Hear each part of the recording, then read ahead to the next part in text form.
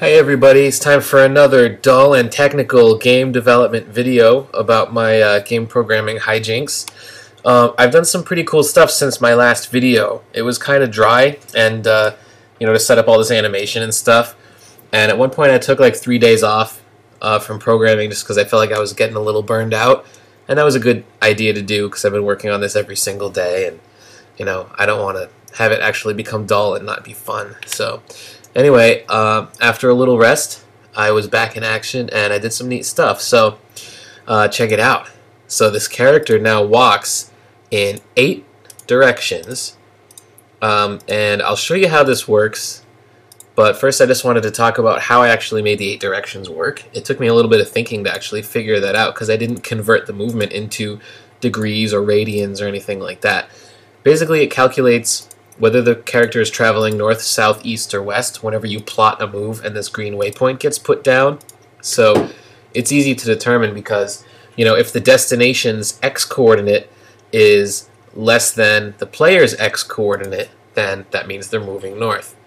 You know, and if it's greater, it means they're moving south, and same for y. If the y is decreasing, they're going one way. If it's increasing, they're going the other way. So it's easy to calculate if they're moving up, down, left, or right. The trickier things were the in-between angles that are a little more oblique, or whatever the right term would be.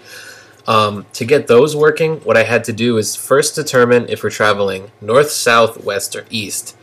Let's say we're traveling west. So um, in this case, you can see that the mouse is pretty much even with where the character is moving, right? So like if I if I click, they're just walking pretty much straight west or east. So how I determined if they need to go up or down at an angle is if the cursor is not straight in line with the origin point at their feet, but instead if it's, say, 100 or 200 pixels off of that, then that just means don't travel straight west, travel northwest or southwest. So again, it's, it's calculating north, south, west, or east, and then if the cursor is not straight in line with that direction, but it's more than 100 pixels or whatever off to either side, then use the diagonal instead. I don't know if that makes sense, but it made sense to me and it works. So good enough. So um, again, this is not 3D engine. I wanted to spend all my time with the simple 2D engine, but just figure out a pipeline to convert 3D art assets into 2D sprites. So as 3D as this looks, it's just sprites, which I will now prove to you. So over here on this workspace, this is the image for the player's walk animation. And what all this nonsense is, is this is frame one all the way up through right here. I can't draw a, a, box on this, but so from this frame right here all the way over to this. These are eight images, and it corresponds to the first frame of walking shot from eight different directions. Then this starts the second frame from eight different directions. So it's a whole lot of images, and the way that I um, put those, you know, 10 or 20 frames shot at eight different directions into the the engine of the game is it gives me an XML file that the program uh, FragMotion that I'm using to photograph the models, it spits out this XML. So basically created a method that will load each frame and it records the time, which is like the uh, the number of the frame. So it goes down 1, 2, 3, 4, 5, 6, 7, 8. So this is frame 7.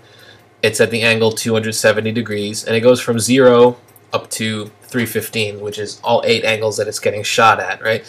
And then left and top tell me like the X and Y offset of where the frame itself begins in the overall sprite sheet. And the width and height, I went through some trouble and I had to post on a forum to figure this out. Uh, it's not a traditional sprite sheet where it's a grid and each frame has the same width and height. That's why I have to parse and process this XML file. The width and the height of each frame are different. So for example, this frame where Link's hat is longer that's a wider frame than this one, where his hat isn't poking out. Um, so the width and the height are different on each little image, which makes it tough. So I have to process the XML to get those values further. You'll notice that the feet, like over here, are much further down than this frame. So Link would jerk all around when he's walking because it doesn't put them centered in their own cute little grids. So the XML stores an origin point, which you can see in this line right here. Origin X is 65 and Y is 113. I had to create an extra bone attachment, um, place it at the origin point of the model in the other FragMotion program, and then this will export out the coordinates of where that point is in every frame. So I know where the base point is between the feet for every frame, and that's how I can draw the sprite using that as an offset and keep it centered in the correct position. That probably doesn't make any sense, uh, but that's about the best I can explain it. so now when you notice that when I walk, or when the character walks, it's it looks like it pretty much should.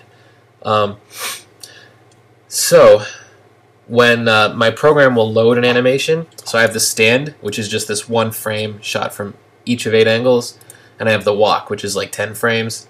Um, each of those gets loaded by the player class, and when it's loaded, it processes everything out of that XML file one at a time and puts it into a struct, which is a frame struct, and I have an array of those frame structs, um, and that consists. That's what the animation consists of, as well as some other methods like an update method, which will increment the frames and loop them. Um, and the player class determines which animation is appropriate. So if, if you're not moving, it picks the standing animation. If you've clicked on the screen and set a waypoint and movement has started, it sets you to walking. And then when you arrive, it puts you back to, uh, to the standing animation. So the player class picks the appropriate animation. Um, the animation class keeps track of all the drawing, the frames, and all that stuff um, and the origin point, so it puts it at the right spot. And it also sets up the uh, the direction that you're facing. So like the player keeps track of which direction they were last facing and continually passes that to the animation, so it shows you facing the right angle. So in a nutshell of enjoyment, that is how I set up the sprite sheets and the animation to look this way. So it looks like the pipeline is officially you know in place and it's working out well. Um, so next up, I'm going to have to modify, if you remember my players to look like this, these are the enemies. Um, so I'm going to have to get them using the same stuff, and right now, like if I put those crates down, the player just goes right through them because the, uh, the bounding boxes work differently. What I'm going to need to do is make like a bounding box for the player's foot, so that will control where you bump into things. I don't want to move like, I'll get out of the way. I don't want to move like right here and have the hat or the player's helmet or head or whatever bump into the box and and stop the motion. That would just be ridiculous. They should they should stop when they get like actually up here so you'd be somewhat overlapping the objects which will you know join this 40 degree angle that the player is looking being looked at too. So you want your feet to actually control the bumping, not like the top of your head, which doesn't make sense. Then I'll make an overall bounding box for the player or for the characters to determine when they're hit by bullets and things like that. So I'll actually have a flat bounding box on the ground, like a square, that determines if your feet are bumping into stuff, and then uh, an overall box for getting hit by bullets and other things that would collide with the entire body of the characters. So, uh, so those bounding boxes are probably next, and then I'm probably gonna have to look into cleaning this stuff up so I can actually have the sprites look nice with textures and get uh, my artist drawing things, um, you know, like final sorts of art to settle on like a style and how everything will look. So that's the progress I've made. So I hope you find that interesting. Uh, you can hit me up on Twitter where I continually post, uh, you know, daily updates about what I'm doing and ranting about compiling or other technical nonsense. So, um, hope you enjoyed this video and you enjoy following along with my crazy updates. And uh, I'll see you soon. Take it easy.